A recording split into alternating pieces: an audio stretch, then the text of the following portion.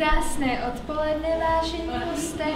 Vítám v tomto krásném sále vás rodiče, učitele, bývalé učitele, kteří se za námi rádi vracejí, i ostatní posluchače, kteří se za námi do školy přišli podívat třeba poprvé. Za dva dny, v neděli, začne období adventu, eh, které které přiznamenává nejkrásnější svátky v roce.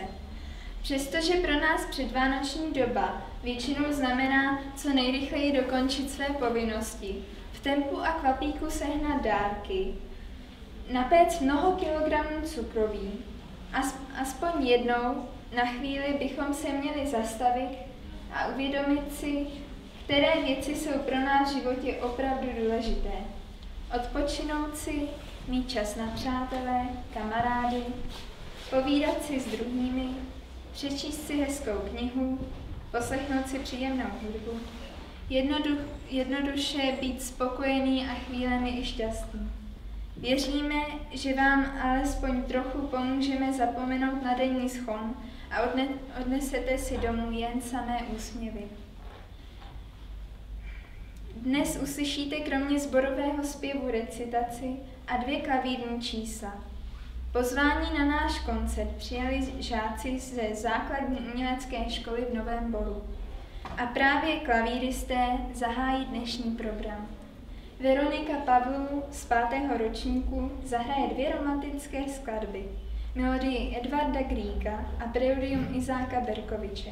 A ještě jedno preludium ukrajinského skladatele přednese Petr Socha ze sedmého ročníku. Přejeme vám krásný poslech.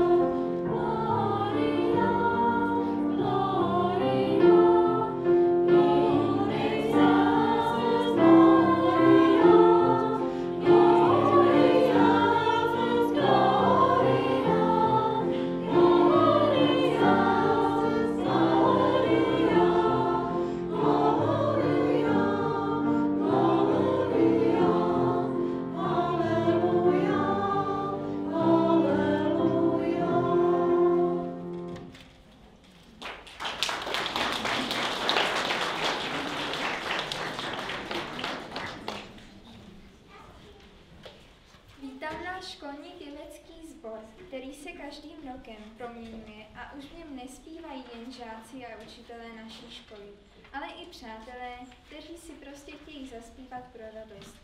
A to je v tomto sboru opravdu dost.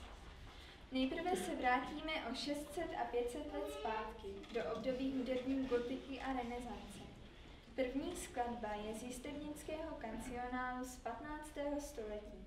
Druhá se nachází ve sbírce Tilmana Susáta z roku 1551.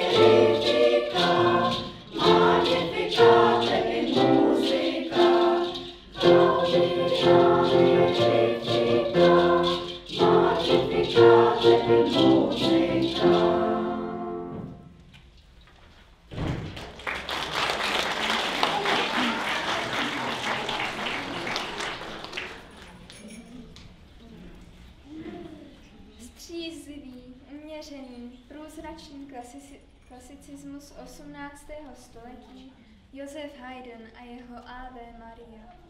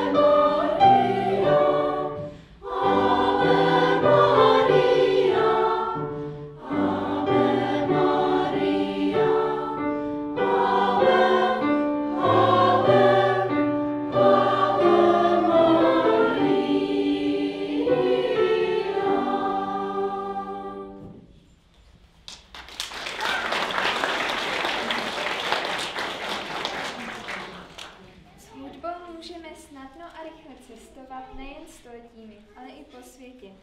Tři vánoční písně. Jedna z Argentíny, druhá je vánoční ukolébavka ze Španělska a o té třetí ani nevíme, odkud nám přilétla.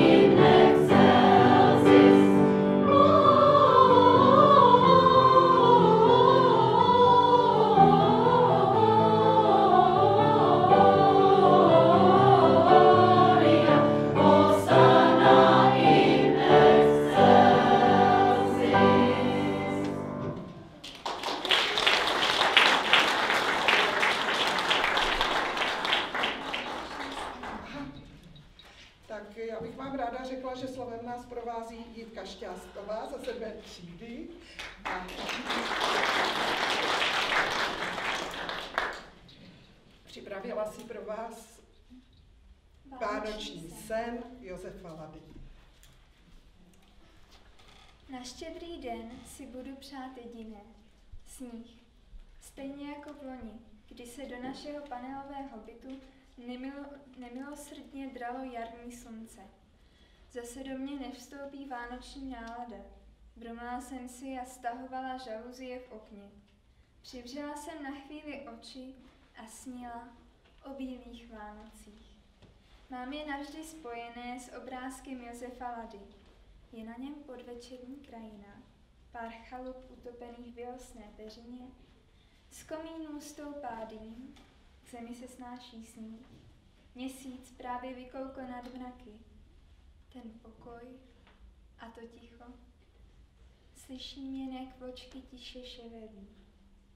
A pak jsou tu okna, rozzářená okna. Je v nich teplo, světlo, láska, očekávání. Přála bych si na ně dýchnout a podívat se do místnosti. Proč ne? Vidím vánoční stromek, vysoký, chundelatý smrček, ozdobený červenými jablíčky, ořechy, cukrovým a plamínky svíček, papírové jesličky s právě narozeným Ježíškem, jablíčka připravená k rozkrojení, ořechy k rozkousnutí a olavo k ulití. Pec, ke které se choulí čtyřnohý kožíšek. Chtěla bych tam být.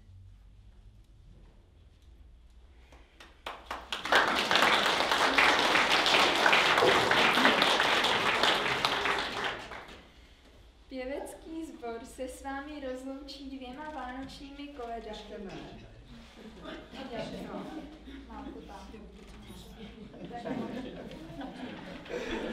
Tak chybička se bloudila. Eh, Zaspíváme vám teď tři gospely. Eh, Jsou to písně, které eh, přibližně 100 let už se zpívají. Začalo to v Americe v černožských kostelích. A teď už se zpívají všude.